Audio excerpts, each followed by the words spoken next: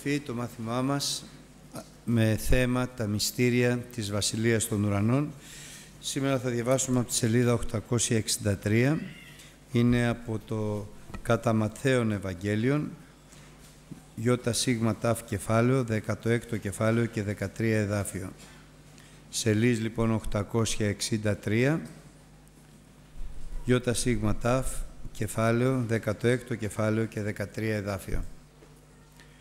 Ότε δε ήλθεν ο Ιησούς εις τα μέρη της Κεσαρίας της Φιλίππου, η ρώτα τους μαθητάς αυτού λέγον, τι να με λέγουσιν οι άνθρωποι ότι είμαι εγώ ο Υιός του ανθρώπου.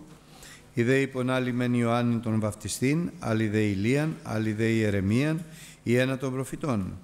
Λέγει προς αυτούς, αλλά εσείς τι να με λέγετε ότι είμαι. Και αποκριθείς ο Σίμων ο Πέτρος είπε εσύ είσαι ο Χριστός, ο Υιός του Θεού του ζώντος.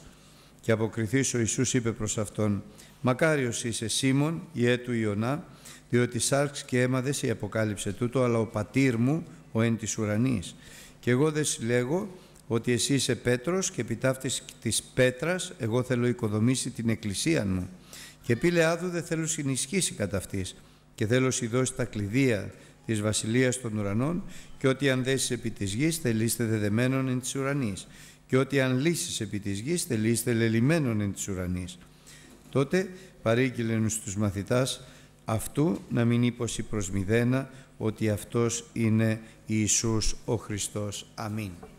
Συνεχίζοντας λοιπόν τη σειρά αυτή των μαθημάτων μας αγαπητά μου αδέλφια, τα μυστήρια της Βασιλείας των Ουρανών, αφού περιγράψαμε το, τα μυστήρια όπως εμφανίζονται στο ΙΓ κεφάλαιο, στο 13ο κεφάλαιο, τους Σπύροντος, τους Σπορέως κλπ.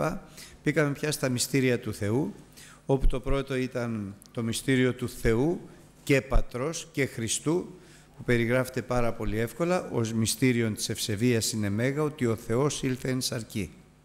Ότι ο Λόγος του Θεού έγινε σάρκα και περπάτησε πλήρης χάριτος και αληθείας ανάμεσα στους ανθρώπους, ήρθε να αποκαλύψει τα ουράνια να φανερώσει μια καινούργια διδαχή το Ευαγγέλιο που είναι πνεύμα και ζωή και να ελευθερώσει τον άνθρωπο, τον δικαίως εχμαλωτιστέντα από το διάβολο για τις αμαρτίες του, να τον ελευθερώσει και να τον φέρει στην απόλυτη ελευθερία του Πνεύματος του Αγίου.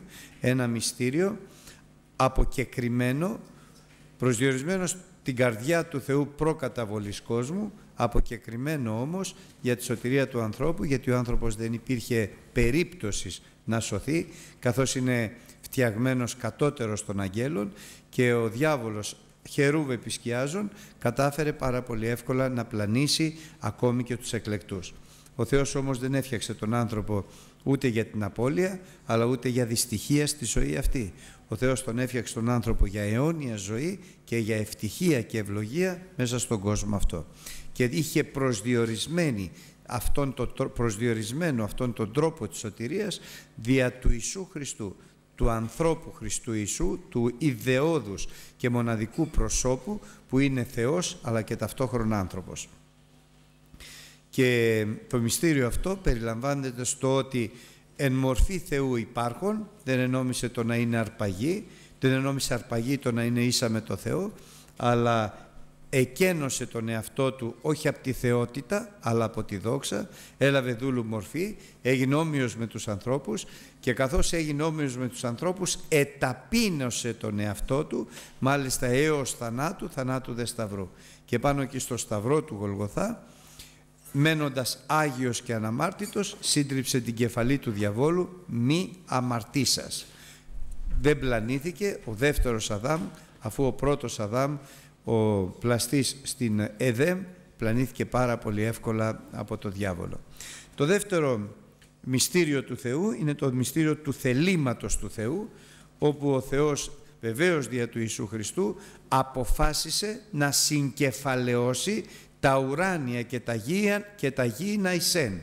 Να φέρει δηλαδή τον ουρανό στη γη αλλά και να δώσει τη δυνατότητα στη γη να ανέβει στον ουρανό. Και τούτο έγινε δια Πνεύματος Αγίου όταν ο Χριστός βάφτισε με Πνεύμα Άγιο καταρχάς την ημέρα της Πεντηκοστής ε, τους ε, ανθρώπους, τους 120 που περίμεναν στην, στο Ανόγιο και στη συνέχεια όποιος πίστευε κατά το θέλημα του Θεού και κατά το λόγο του Κυρίου ο Θεός του έδινε δια του Ιησού Χριστού την επαγγελία του Πατρός, τη δύναμη του Πνεύματος του Αγίου ώστε ο άνθρωπος λαλώντας ξένες γλώσσες να οικοδομεί τον εαυτό του αλλά ταυτόχρονα και με τη δύναμη του Πνεύματος του Αγίου να γίνει μάρτυρας του Ιησού Χριστού ε, σε όλη την οικουμένη, ο, ο άνθρωπος του Θεού, αλλά και ταυτόχρονα να απολαμβάνει την οδηγία και τη διοίκηση του Πνεύματος του Αγίου. Σήμερα θα ασχοληθούμε με το τρίτο μυστήριο του Θεού που είναι η Εκκλησία του Χριστού. Η Εκκλησία του Χριστού είναι ένα μοναδικό και αυτό πρόσωπο. Ένα πρόσωπο που δεν είναι τίποτα περισσότερο παρά η νύμφη του Χριστού. Η νύμφη του Ιησού Χριστού. Και όπως είναι γεγραμμένο, η δόξα του ανδρός είναι η γυνή αυτού, η γυναίκα του ανδρός είναι η δόξα του, έτσι και η δόξα του Ιησού Χριστού είναι η γυναίκα του. Και μάλιστα είναι γεγραμμένο απαρχής ότι ο άνθρωπος θα αφήσει τον πατέρα αυτού και τη μητέρα αυτού και θα προσκοληθεί στη γυναίκα αυτού και θα δίνουν, γίνουν οι δύο η σάρκα μία. Και βέβαια λέει η Γραφή, λέει ο Απόστολος Παύλος στην επιστολή προς Εφεσίους, τούτο δε λέγω δια τον Χριστό και για την Εκκλησία. Μυστήριο Μέγα. Θα αφήσει, είναι ο γάμος, ο γάμος που είναι ένας θεσμός τον οποίο δεν ανακάλυψαν οι άνθρωποι, αλλά εθέσπισε μόνος ο Θεός. Και κανείς δεν μπορεί να γκρεμίσει παρόλο τον αγώνα και την προσπάθεια του διαβόλου και του κόσμου να καταστρέψει το γάμο, ο Θεός είναι αυτός που στηρίζει το γάμο και θα συνεχίζει να το στηρίζει και θα ολοκληρωθεί ο γάμος σαν θεσμός επάνω στον ουρανό όταν ο πατέρας θα εκτελέσει το γάμο του Χριστού με την Εκκλησία. Είναι λοιπόν ένα μοναδικό πρόσωπο η Εκκλησία και μέγα μυστήριο. Μέγα μυστήριο. Μυστήριο μέγα λέγω προς εσάς, λέει ο Απόστολος Παύλος. Πάντες μεν δεν θέλομεν κοιμηθεί, δεν θα πεθάνουμε, πάντες όμως θέλομεν μεταμορφωθεί. Στην τελευταία σάλπιγγα, εν τη εσχάτη σάλπιγγη, όταν θα έρθει ο Χριστός να παραλάβει την Εκκλησία Του, όταν θα τελειώσει η περίοδος της χάριτος, και θα γίνει η Ανάσταση των νεκρών, καθώς είναι επίσης περιγεγραμμένο στο σύμβολο της πίστεως, προσδοκώ Ανάσταση νεκρών, και οι αποθανόντες εν Χριστώ θα αναστηθούν πρώτοι, ύστερα εμείς οι ζώντες, όσοι απομένομεν, θέλομεν αρπαχθεί, εις απάντηση του Κυρίου στον αέρα και έτσι θα είμαστε πάντοτε μαζί Του.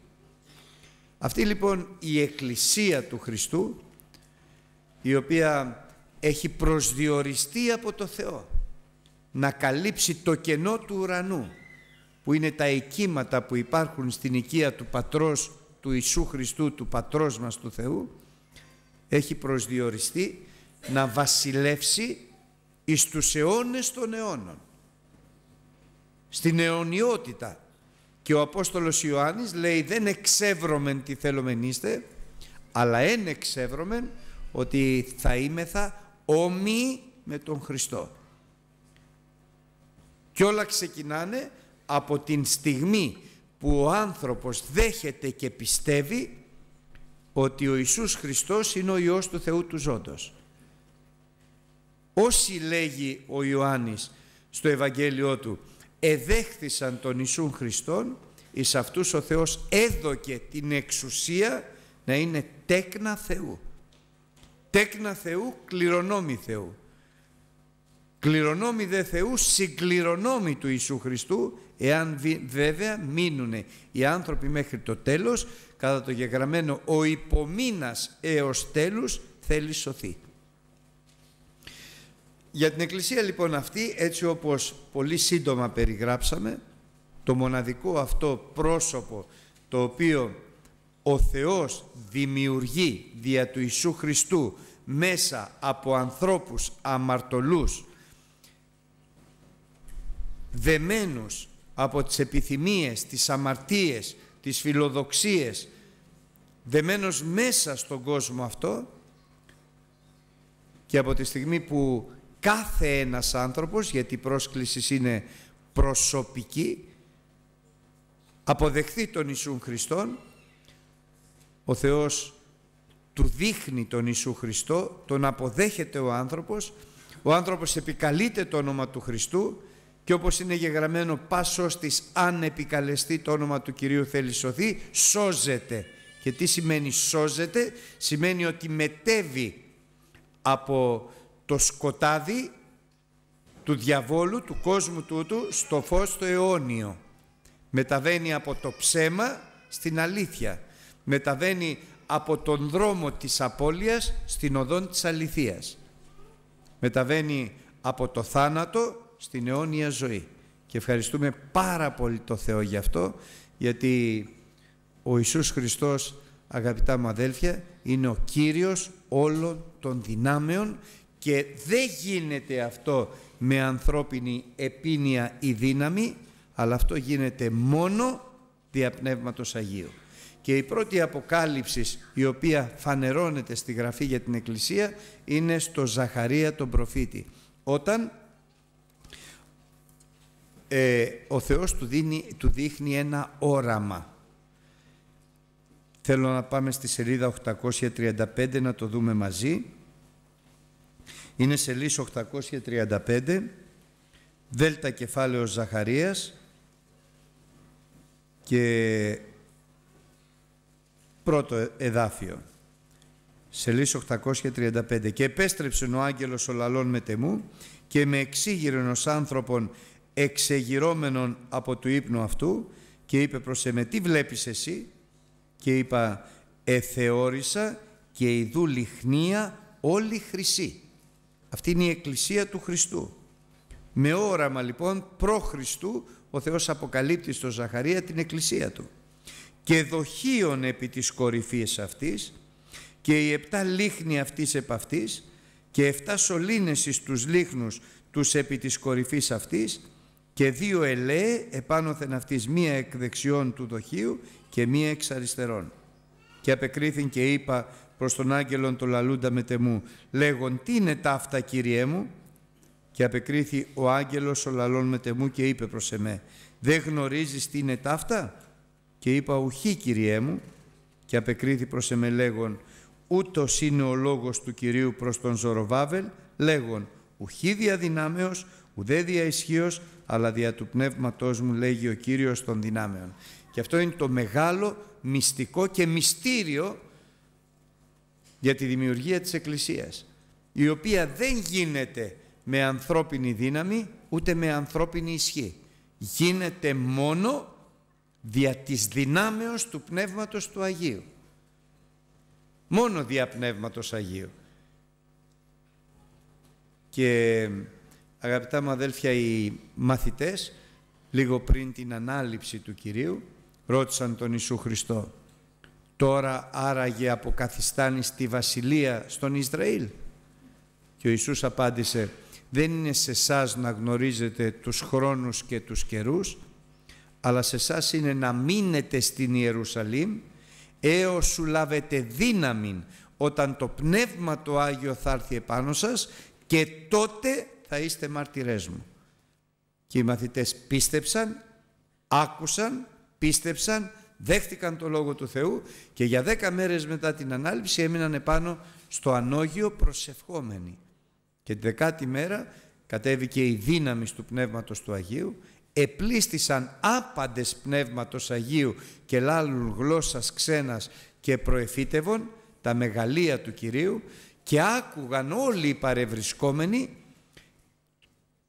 αυτό το οποίο συνέβη εκεί στο ανώγιο και άλλοι ονείδιζαν, μεθυσμένοι θα είναι έλεγαν, άλλοι έλεγαν μα εμείς ακούμε με τη, στη δική μας διάλεκτο λόγια Θεού και τότε ήταν που εξήλθε, βγήκε ο Απόστολος Πέτρος από το ενόγιο, κήρυξε και σώθηκαν εκείνη την ημέρα 3.000 άνθρωποι οι οποίοι βαφτίστηκαν στο όνομα του Πατρός και του Ιού και του Αγίου Πνεύματος εις άφεση αμαρτιών και έλαβαν και την οδηγία ότι στους πιστεύοντας έχει δοθεί από το Θεό υπόσχεση να λαμβάνουν δια του Ιησού Χριστού Πνεύμα Άγιο.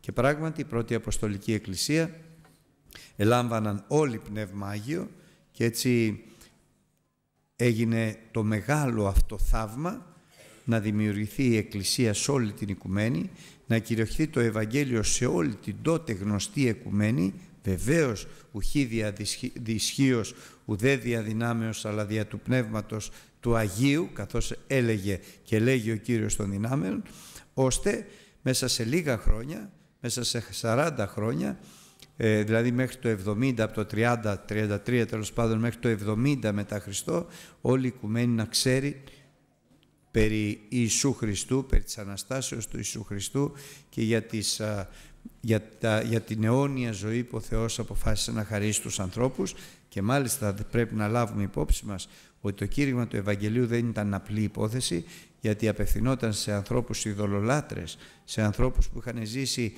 μέσα σε περιβάλλον απόλυτης ειδωλολατρίας που είναι αδύνατον να δεχθούν και να πιστέψουν τα λόγια του Αποστόλου Παύλου ενός ανθρώπου απλού.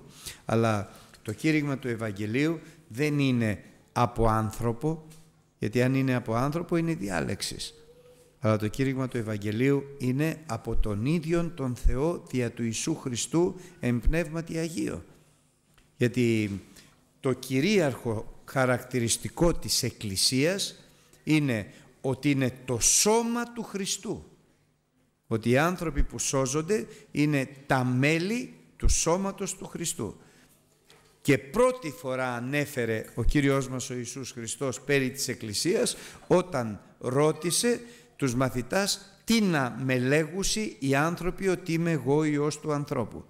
Και απάντησαν ότι οι άνθρωποι λένε ότι είσαι ο Ιερεμίας, ο Ηλίας, ένας των προφητών. Έκρυψαν ή δεν είπαν, όχι έκρυψαν, δεν είπαν όλα τα κακά τα οποία έλεγαν οι άνθρωποι για τον Ιησούν Χριστό ότι είναι ο Βελζεβούλ, ο άρχον των δαιμονίων κλπ. Και ότι δια του Βελζεβούλ κάνει τα θαύματα. Αλλά αυτό δεν ενδιέφερε και η ερώτηση δεν απευθυνόταν πραγματικά για το τι λένε οι άνθρωποι, γιατί δεν ενδιαφέρεται για το τι λένε οι άνθρωποι. Ο Χριστός ενδιαφέρεται για το, το τι λες εσύ που σε καλεί τους μαθητάς του. Και γι' αυτό συνεχίζει εσείς τι λέτε ότι είμαι εγώ Υιός του ανθρώπου. Και ο Πέτρος, ο Απόστολος Πέτρος, ο Σίμων τότε, είπε εσύ ο Χριστός, ο Υιός του Θεού του Ζώντος. Και αυτό είναι ένα μυστήριο, αυτό είναι το μυστήριο της Εκκλησίας του Χριστού. Και ο, Απόστολος και ο Κύριος του είπε αυτό Σίμων Ιέ του Ιωνά δεν το αποκάλυψε σάρκα και αίμα άνθρωπος αλλά αυτός το αποκάλυψε ο πατέρας μου ουράνιος. Γιατί κανένας δεν μπορεί να πλησιάσει το Χριστό αν Αυτόν δεν τον ελκύσει ο Θεός. Και σε κανέναν ο Θεός δεν οδηγεί προσωτηρία τους ανθρώπους άλλον παρά μόνο στο Χριστό. Γιατί κανένας άλλος δεν μπορεί να σώσει παρά μόνο ο Χριστός. Βλέπετε αγαπητά μου αδέλφια ότι η χάρη του Θεού, γιατί κατά χάρη είμαστε σεζωσμένοι, η χάρη του Θεού είναι να γνωρίσουμε αυτόν τον οποίον απέστειλε τον Ιησούν Χριστόν ότι είναι ο Υιός του Θεού του Ζώντος. Και αλήθεια είναι αυτό. Πόσο εύκολα μπορεί ένας άνθρωπος να δεχθεί ότι ο Ιησούς ο Ναζωραίος που γεννήθηκε κάποτε με ερωτηματικό αν γεννήθηκε κιόλας μέσα στη σοφία των ανθρώπων στην Βιθλεέμ και μεγάλωσε στην Ναζαρέτ Υιός καθώς ενομίζεται του Ιωσήφ και της Μαρίας έχοντας ακόμη τέσσερις αδελφούς και κάποιες αδελφές ότι αυτός ο άνθρωπος είναι η ενσάρκωση του Λόγου του Θεού δύσκολο να γίνει αντιληπτό δύσκολο να γίνει αντιληπτό από τους α, Ιουδαίους τότε, ιερείς, αρχιερείς, γραμματείς, φαρισαίους, οι οποίοι, για, για τους οποίους ήταν σκάνδαλο. Δύσκολο για την εποχή εκείνη για τότε για τους ειδωλολάτρες.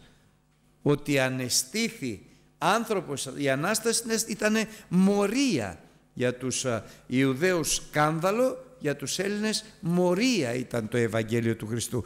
Και μάλιστα όταν κηρύχθηκε από τον Απόστολο Παύλο το Ευαγγέλιο στους Επικουρίους και στους Στοικούς, στους φιλοσόφους των Αθηνών, επικούριοι ήταν εν γέννη οι ληστές και στοικοί ήταν οι πανθεϊστές, όταν κηρύχθηκε οι μένα ε, πρώτοι κορόιδεψαν, οι επικούριοι, δε δεύτεροι, οι στοικοί πιο ευγενείς, είπαν καλά θα μας τα ξαναπείς.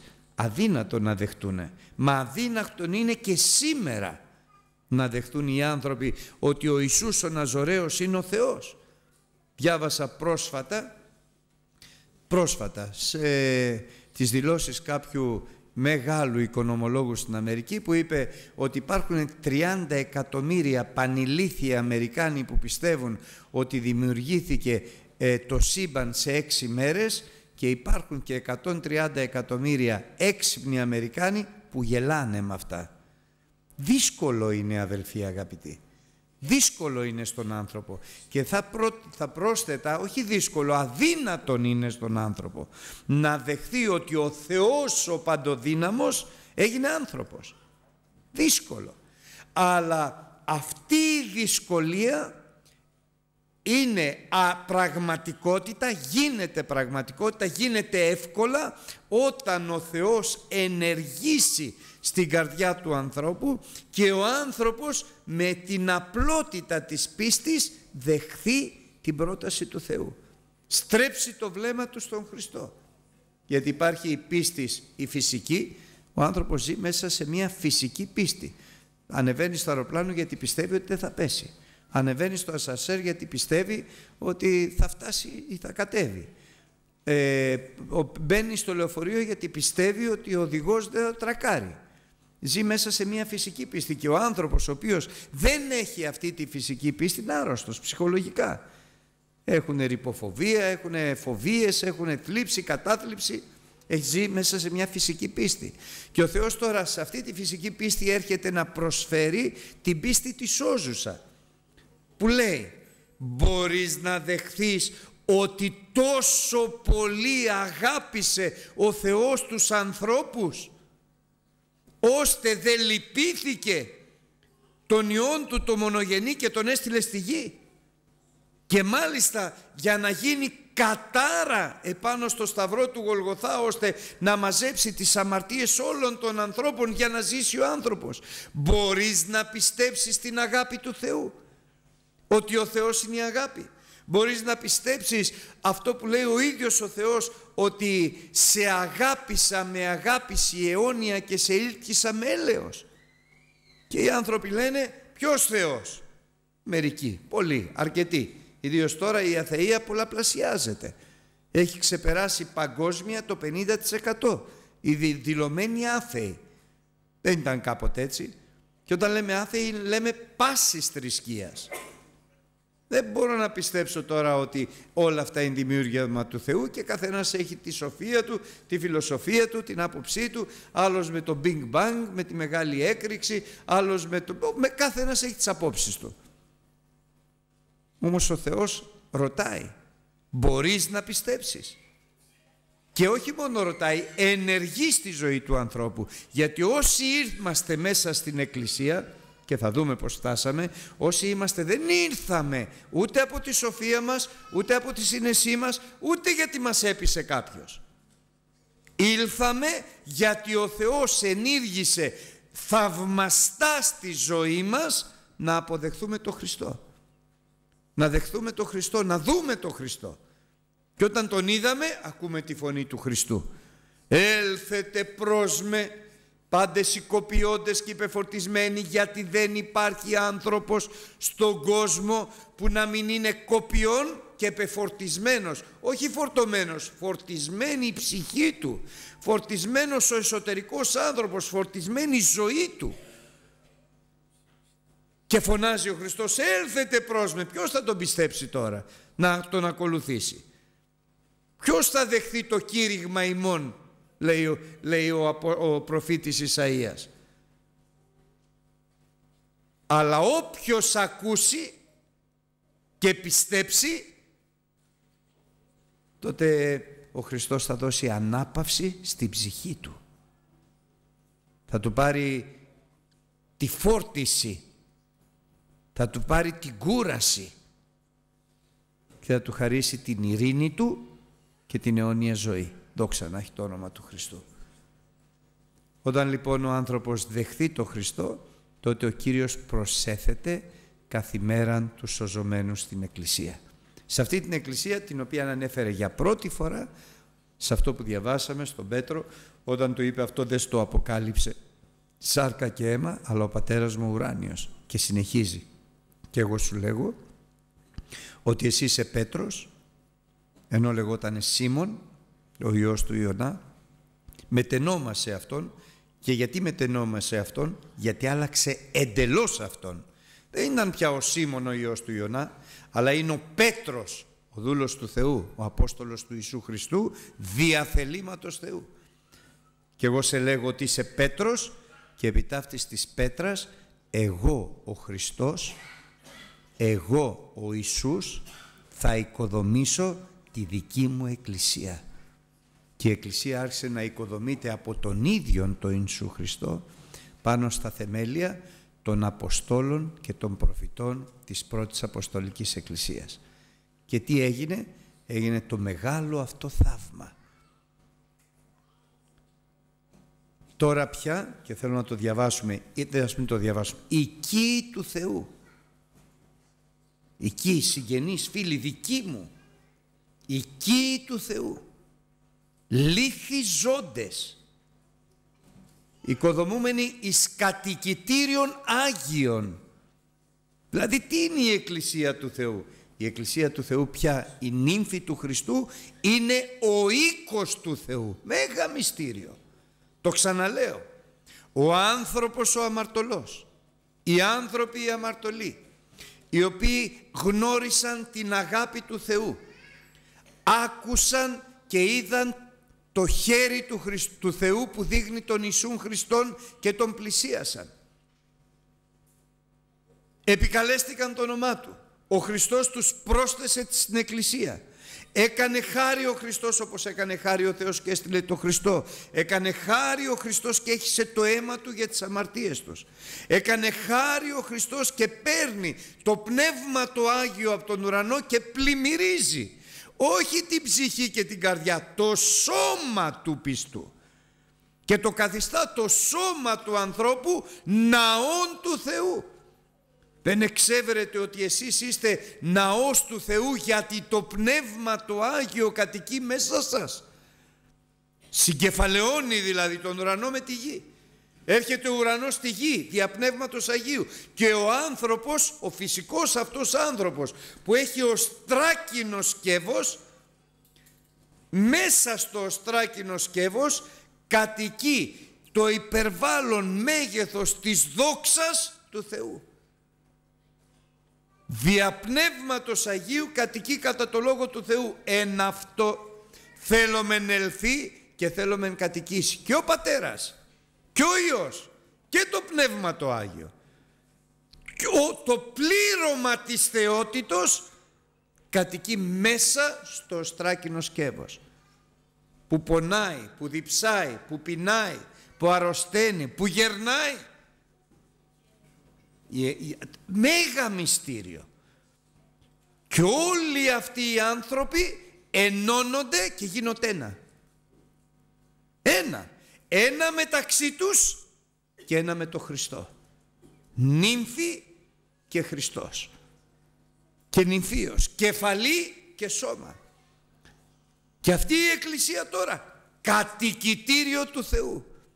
Η Εκκλησία του Θεού του ζώντος ο οίκος του Θεού που είναι ο στήλος και το εδραίωμα της αληθείας. Εάν υπάρχει αλήθεια στην ανθρωπότητα και λέω στον κόσμο και λέω αν υπάρχει αλήθεια γιατί πατήρ του ψεύδους είναι ο άρχον του κόσμου τούτου και ο διάβολος που πλανά οι δυνατόν και τους εκλεκτούς. Όλη την οικουμένη. Ο πλανών την οικουμένη όλη με μάγους, με επαϊδούς, με αστρολόγους, με επιστήμονες ψευδείς επιστήμονες, με, γιατί η αληθινή επιστήμη συμφωνεί απόλυτα με το Ευαγγέλιο του Ιησού Χριστού. Απόλυτα. Ένα μικρό παράδειγμα να σας πω σαν, σαν παρένθεση. Πριν από χρόνια λέγανε ότι τα άστρα είναι 5.000. Ο Λόγος του Θεού έλεγε ότι είναι όσο η άμμος στο χείλος της θαλάσσης. Και γελάγανε. Πριν από χρόνια τον Κοπέρνικο τον κρεμάγανε γιατί έλεγε ότι η γη κινείται. Η αληθινή επιστήμη συμφωνεί μόνο με το Λόγο του Θεού. Και ο Λόγος του Θεού συμφωνεί μόνο με την αληθινή επιστήμη. Όμως οι άνθρωποι που βρίσκονται μέσα στον κόσμο, που πλανάται από το διάβολο, δεν έχουν ίχνος αληθείας. Ποιος έχει αλήθεια; Μόνο η Εκκλησία του Χριστού. Μόνο η Εκκλησία του Χριστού που έχει την απόλυτη αλήθεια, την υπέρτατη αλήθεια που είναι ο Λόγος του Θεού, το Ευαγγέλιο του Ιησού Χριστού, το βιβλίο του δημιουργού μας. Και αν το πω πιο λαϊκά, το βιβλίο του κατασκευαστού μας. Μόνο η Εκκλησία του Χριστού έχει την αλήθεια. Μόνο η Εκκλησία του Χριστού είναι ο στήλος που στηρίζεται αλλά και το εδραίωμα που βασίζεται αμετακίνητη η αλήθεια, ο στήλος και το εδραίωμα της αληθείας. Ευχαριστούμε τον Θεό αδερφοί αγαπητοί. Και αυτή η Εκκλησία, ο οίκος του Θεού. Και μέσα σε αυτή την Εκκλησία εργάζεται ο Πατέρα, εργάζεται ο Χριστός θέτοντας διακονίες, αποστόλους, προφήτες, ποιμένες, διδασκάλους και ευαγγελιστές. Αυτοί οι άνθρωποι δεν είναι αδελφοί αγαπητοί σοφοί, αλλά είναι δούλοι. Δεν είναι αρχηγοί, δεν είναι κυρίαρχοι, δεν είναι ηγεμόνες, δεν διατάζουν, δεν κατευθύνουν, αλλά υπηρετούν στο Λόγο του Θεού και στις προσευχές. Μέγα μυστήριο η επάνδρωση της Εκκλησίας, η λειτουργία της Εκκλησίας και παίρνει ψαράδες αγράμματους και ιδιώτες και τους κάνει αποστόλους. Και παίρνει μορφωμένους τον Απόστολο Παύλο και τους κάνει αποστόλους. Και παίρνει τελώνες τον Ματθαίο και τους κάνει αποστόλους. Και παίρνει με επιλογή δική του ο Χριστός αλλά κατά το θέλημα του Θεού γιατί δεν κάνει τίποτα περισσότερο ή λιγότερο από αυτό που θέλει ο Θεός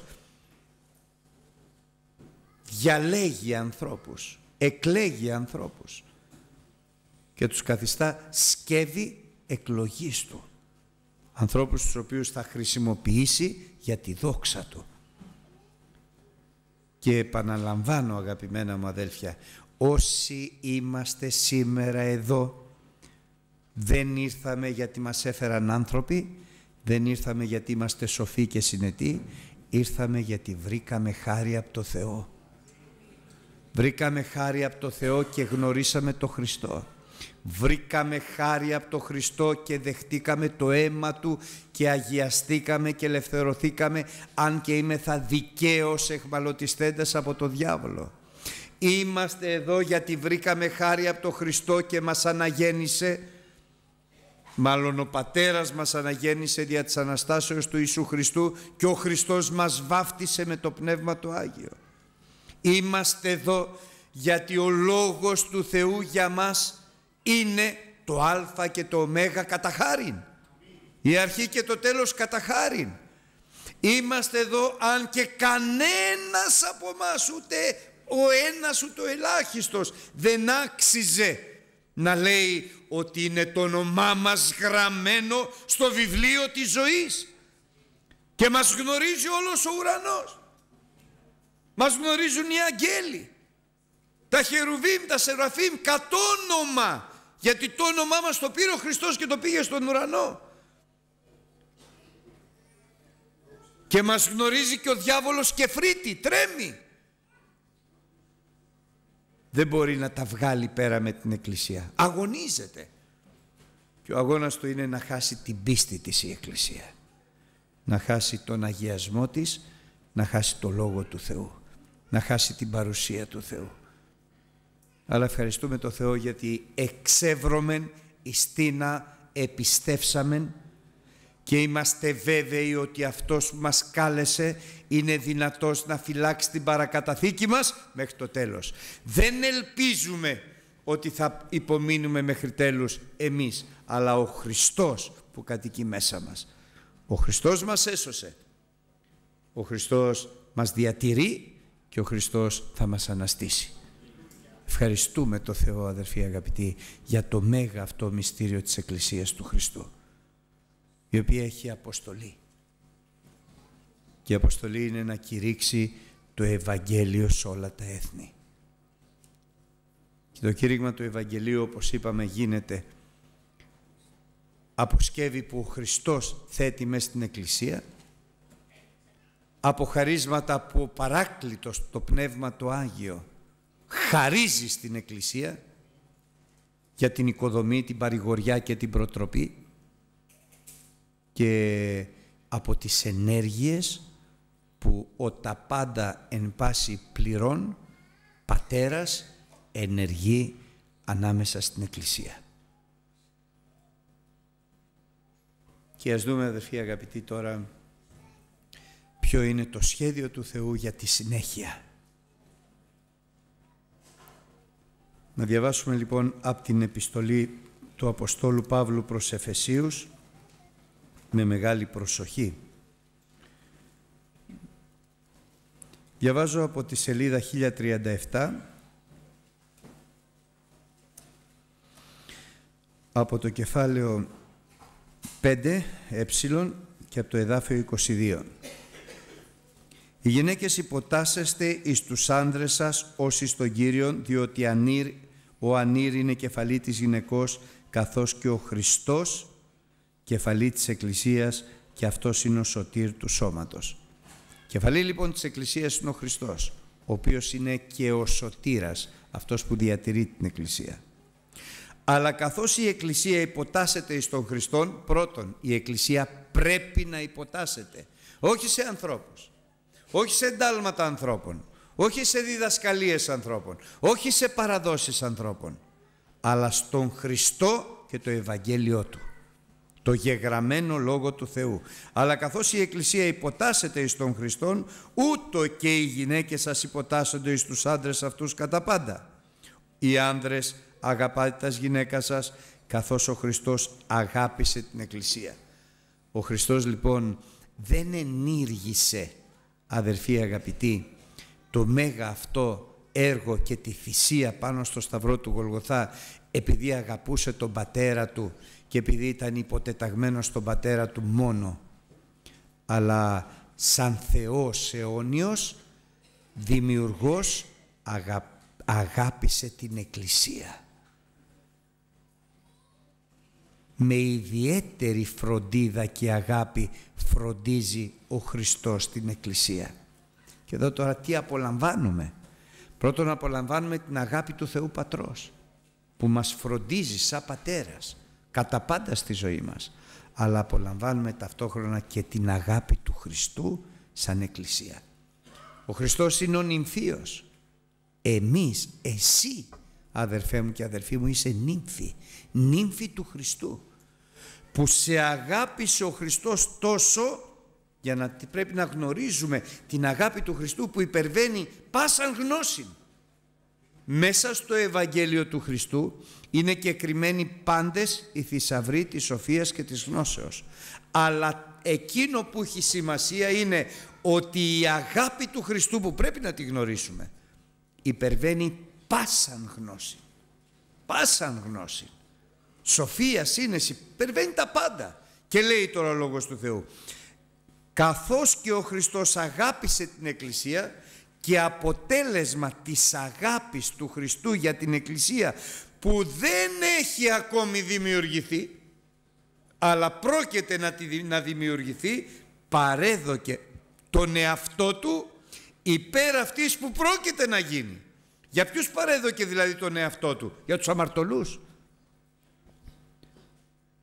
Και για τους δικαίους λέει η Γραφή είναι λογικό να πεθάνει κάποιος, αλλά για τους αμαρτωλούς, για τους ανώμους και τους ασεβείς, μόνο ο Χριστός μπορούσε να πεθάνει. Μόνο η αγάπη του Χριστού είχε αυτό το αποτέλεσμα. Πέθανε για τους αμαρτωλούς για να δημιουργήσει την εκκλησία του. Παρέδοκε τον εαυτό του υπερ για να την αγιάσει πέθανε πάνω στο σταυρό, έγινε κατάρα, απεστρέψε το βλέμμα του ο πατέρας από αυτόν. Είναι το μοναδικό πρόσωπο που απέστρεψε ο Θεός το πρόσωπό του από αυτόν για να αγιάσει αυτήν. Αυτός είναι ο στόχος του Χριστού. Δεν αγιαζόμαστε μόνοι μας αν δεν μας αγιάσει ο Χριστός. Και πως μας αγιάζει ο Χριστός με το Λόγο Του με το Πνεύμα το Άγιο και με τις ενέργειες που κάνει στη ζωή μας γιατί ο Χριστός εργάζεται. Και είπαμε και την Κυριακή για το Θεό, αλλά εκείνο που έχει σημασία είναι ότι ο Χριστός, ο Λόγος του Θεού, ενσαρκωμένος Λόγος του Θεού, που κάθεται στα δεξιά του Πατρός και, προ... και μεσητεύει περιμόν, εργάζεται στη ζωή του κάθενος με, παντό, με, με ποικίλους τρόπους για τον αγιασμό σου για τον αγιασμό μου, γιατί δεν θα εισέλθει στη βασιλεία των ουρανών παν το μιένον, αλλά μόνο μία εκκλησία όπως θα δούμε αγία, αμόμητος, ένδοξος. Για να το δούμε λοιπόν 26 δάφιο. «Δια να αγιάσει αυτήν καθαρή σας με το λουτρόν του ύδατος δια του λόγου και δια να παραστήσει την εκκλησία στον εαυτό του ένδοξο εκκλησία. Μία έχουσα κοιλίδα ηρητίδα ή των τιούτων, αλλά δια να είναι αγία και άμωμος. Άρα τον αγιασμό της εκκλησίας ποιος τον επιμελείται, πιο προσωπικά, τον αγιασμό σου, τη ζωή σου, ποιος την επιμελείται, μην νομίζω ότι εσείς την επιμελείσαι. Γιατί αν ήταν δική μας ικανότητα, μάλλον αν ήταν δική μας ευθύνη, μουσκεμα θα τα είχαμε κάνει όλοι. Άφλιος ουτιδανός είναι ο άνθρωπος. Δεν υπάρχει δίκαιος ουδέ εις. Εις πολλά πτέωμεν άπαντες. Όμως ο Θεός διόρισε άνδρα εκλογής του τον Ιησούν Χριστόν να επιμελείται διαπαντός τον αγιασμό της Εκκλησίας και το δικό σου αγιασμό και της οικογένειάς σου τον αγιασμό και των παιδιών σου τον αγιασμό.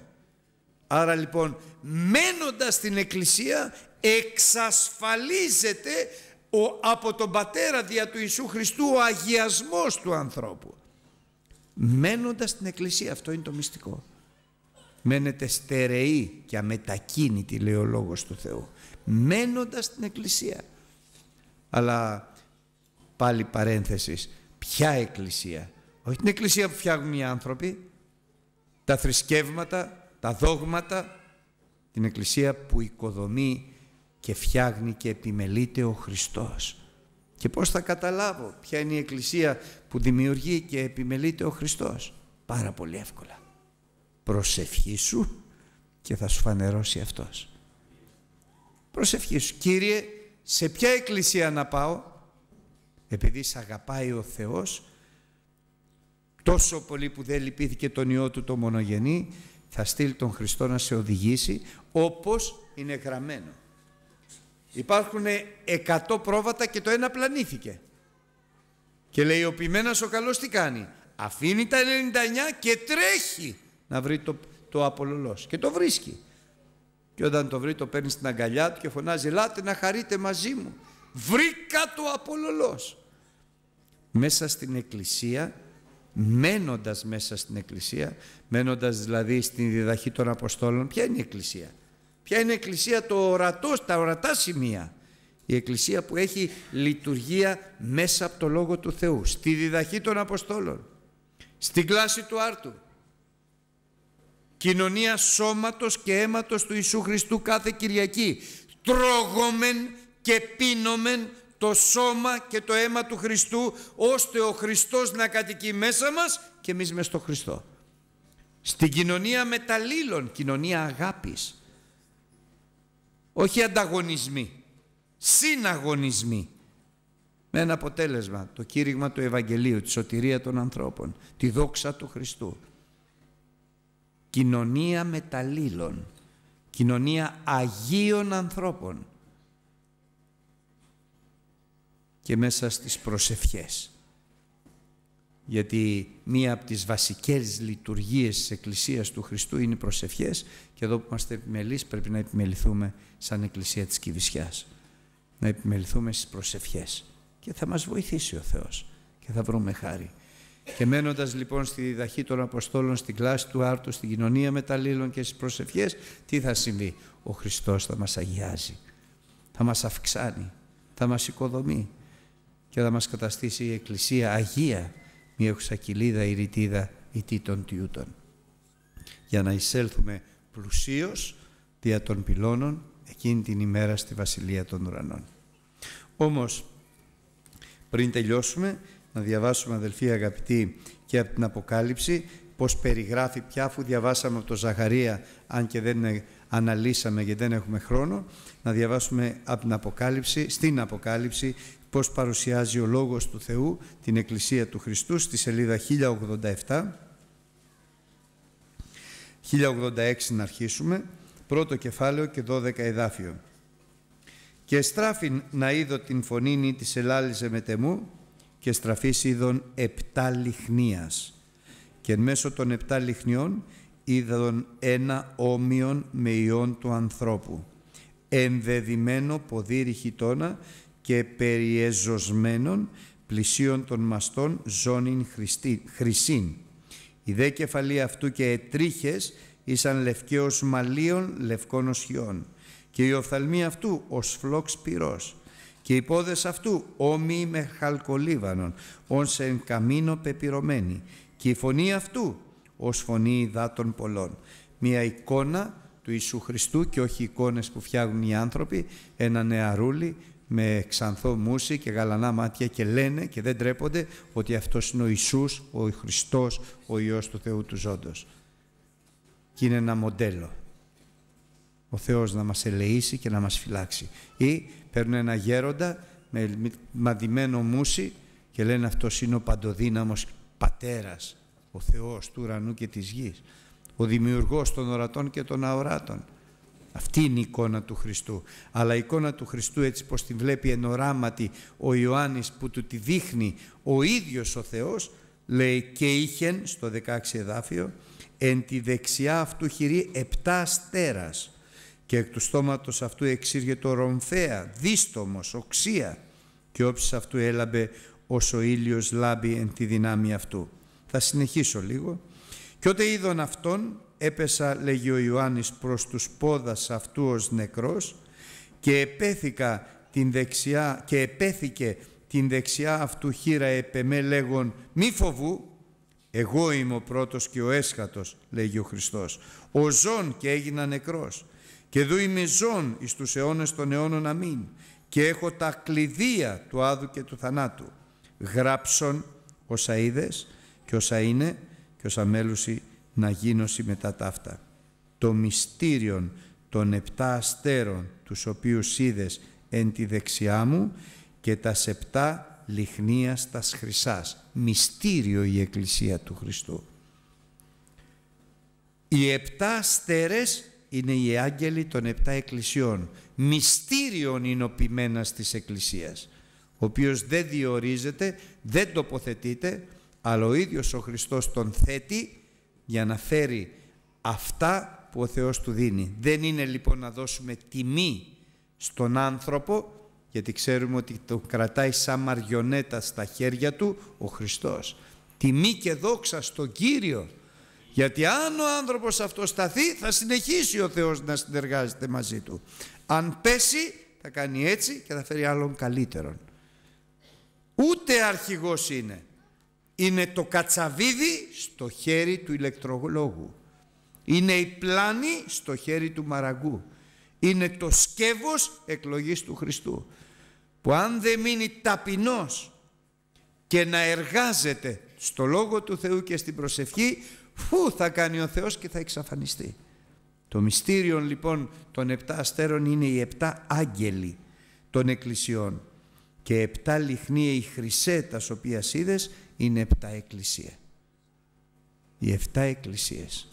Και για να επιστρέψουμε αδερφοί στο Ζαχαρία να δούμε την αποκάλυψη που ο Θεός είχε δώσει σε Αυτόν στη σελίδα πάλι 835 λέγει λοιπόν ο, ο άγγελος ότι η, η λιχνία είναι όλη χρυσή, σφυρίλατη, έχει ένα δοχείο επί της κορυφής, που είναι το δοχείο πλήρες ελαίου, για να μπορούν παρακάτω οι λιχνίες και τα λιχνάρια να καίνε, πλήρης ελαίου, που το έλεον είναι η δύναμη του Πνεύματος του Αγίου, γιατί χωρίς Πνεύμα Άγιο δεν είναι Εκκλησία Χριστού. Είναι μια σύναξης, είναι μια αδελφότητα, είναι μια συνάθρηση ανθρώπων που τσακώνονται μεταξύ τους, που βρίζονται μεταξύ τους, που ανταγωνίζονται μεταξύ τους, που είναι χειρότεροι από τον κόσμο. Η Εκκλησία του Χριστού είναι γεμάτη από την αγάπη του Θεού. Ειρήνη, πίστη, ελπίδα, ταπείνωσης. Και όλα αυτά γίνονται ουχή δια δυνάμεως σου δε δια ισχύως, αλλά δια του πνεύματος μου λέγει ο Κύριος των δυνάμεων. Δοχείων πλήρες ελαίου και επτά λίχνη που είναι τα αυτά στόμια μέσα από τα οποία βγαίνουν, συγγνώμη, εφτά λιχνάρια τα οποία βγαίνουν από τους 7 στολίνες εις τους λίχνους τους επί της κορυφής που είναι τα 7 στόμια τα οποία προσδιορίζουν την εφτάφωτο λιχνία. Αυτή είναι η Εκκλησία του Χριστού. Και αυτή η Εκκλησία του Χριστού όπως είπαμε έχει ένα τέλος που το τέλος είναι ο γάμος και θέλω να το δούμε και το γάμο του Ιησού Χριστού που θα γίνει λίγο πριν τη Δευτέρα παρουσία σύμφωνα με το σχέδιο του Θεού είναι στη σελίδα 1099 κεφάλαιον Ι Θ 19 κεφάλαιο και 6 εδάφιο. Σελίς 1099 19 κεφάλαιο και 6 εδάφιο. Και ήκουσα ως φωνή όχλου στον ουρανό και ως φωνή υδάτων πολλών στον ουρανό και ως φωνή βροντών ισχυρών λεγόντων Αλληλούια διότι ευασίλευσε Κύριος ο Θεός ο Παντοκράτορ ασχέρωμεν και ασαγαλόμεθα. Φωνάζουν όλοι οι άγγελοι τώρα, ε, οι αρχάγγελοι, όλος ο ουρανός. Και ας δώσουμε τη δόξα αυτού, διότι ήλθεν ο γάμος του αρνίου και η γυναίκα, η εκκλησία, ετή αυτού ετοίμασε τον εαυτό της. Μας ετοιμάζει ο Χριστός, αλλά ετοιμαζόμεθα και εμείς. Πώς ετοιμάζεται η νύμφη; Αφήνεται στα χέρια αυτών που την ετοιμάζουνε αφήνεται με εμπιστοσύνη στα χέρια αυτών που την ετοιμάζουν και η Εκκλησία αφήνεται με εμπιστοσύνη στα χέρια του Χριστού. Και ο καθένας από μας αφήνεται στα χέρια του Χριστού και τούτο είναι γραμμένο ευλογημένος είναι ο άνθρωπος που ελπίζει στον Κύριο και η μόνη του ελπίδα είναι ο Χριστός. Και πότε αφήνεσαι όταν ελπίζεις ότι ο Χριστός έχει καλά σχέδια για σένα. Προτίθεται να σε αγιάσει.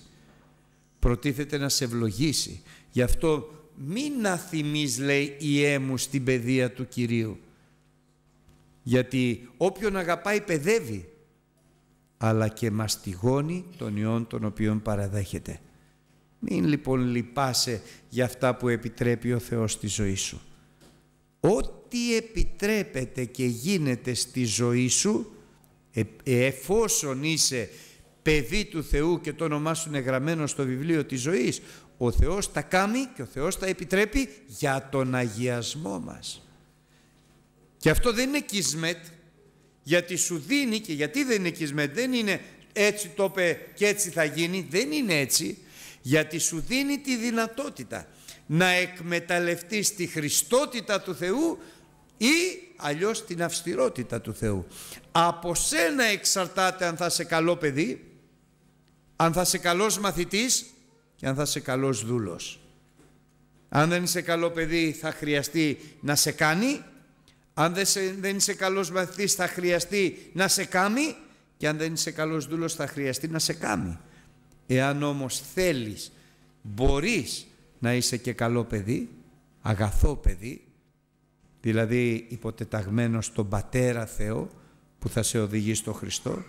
Αν θέλεις μπορείς να είσαι καλός μαθητής, γιατί ένας είναι ο δάσκαλός μας ο Χριστός, ένας είναι ο καθηγητής μας ο Χριστός, μπορείς να είσαι αν ενδιαφέρεσαι να μάθεις τι ο Χριστός θέλει στη ζωή σου μένοντας στη διδαχή των Αποστόλων, στην κλάση του Άρτου, στην κοινωνία μεταλλήλων και στην προσευχή και μπορείς να είσαι και δούλος καλός εάν αφήνεις το Πνεύμα το Άγιο να διοικεί τη ζωή σου, να κατευθύνει τη ζωή σου και να μην είσαι πια εσύ, αλλά η χάρη του Χριστού που κατοικεί μέσα σου. Ήλθε λοιπόν ο γάμος του αρνίου, η γυνή αυτού ετοίμασε εαυτήν και εδόθη εκεί στον ουρανό ίσα ευτή να ενδυθεί βύσινον. Το βύσινο είναι το κάτασπρο ένδυμα, βύσος, από το βύσος, κατάλευκο ένδυμα, καθαρών και λεμπρών και λαμπρών, διότι το βύσινον είναι τα δικαιώματα των Αγίων. Οι Άγιοι έχουν δικαιώματα και τα δικαιώματα είναι η δόξα του αγιασμού. Έχουμε δικαιώματα, δεν έχουμε μόνο υποχρεώσεις στην Εκκλησία, ιδιαιτέρως έχουμε δικαιώματα σαν παιδιά του Θεού, σαν μαθητές του Χριστού. Να διεκδικήσουμε. Ετείτε και θέλετε λαμβάνει για να είναι πλήρης η χαρά σας. Μέγα δικαίωμα των παιδιών του Θεού. Πλήρης η χαρά σου. Μέγα δικαίωμα και άλλα πολλά δικαιώματα που είναι οι υποσχέσεις του Θεού στους ανθρώπους. Ό,τι είναι γεγραμμένο και υπεσχημένο μέσα στο Λόγο του Θεού είναι δικαίωμά σου να το διεκδικήσεις και να το απολαύσεις. Γιατί δεν προσκάλεσε, δεν εκάλεσε εμάς ο Θεός εις κατάρα, αλλά εις απόλαυση ευλογίας. Και λέγει προς εμέ γράψον, μακάρι οι κεκλημένοι στον δείπνον του γάμου του αρνίου και λέγει προς εμέ, ούτε είναι η αληθινή λόγη του Θεού. Αυτή είναι η αλήθεια αδερφοί. Αυτή είναι η αληθινή λόγη του Θεού. Αμήν. Να ψάλουμε τον ύμνο 220.